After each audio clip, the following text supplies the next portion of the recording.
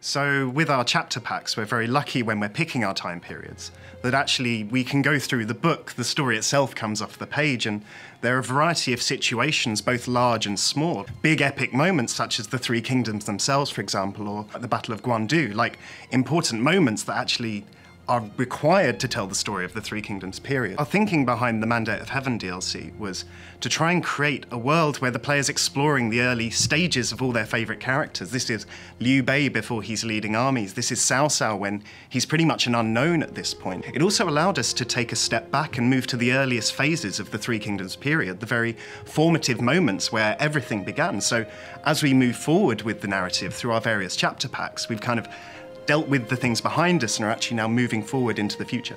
In addition to the chapter packs that allow players to discover the world in new ways, jump in at later points in the story, tales of betrayal and violence uh, that they may not have uncovered as part of their main playthrough.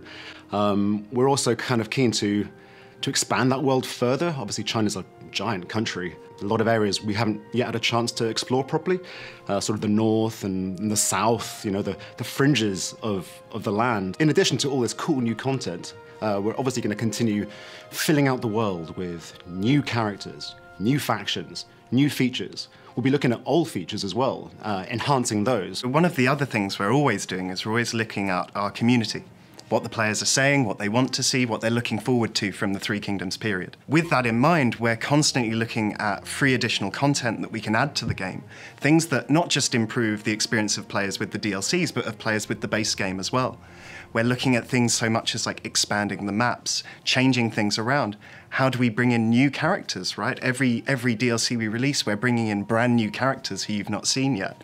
And as that continues, we'll continue to also look at our older content going back to factions that maybe aren't as strong or need some balancing, looking at those and actually trying to improve those as well and make them more fun to play. We've been listening to the community, getting a lot of feedback on board, and we're sort of aiming to make Three Kingdoms the best game it possibly can be.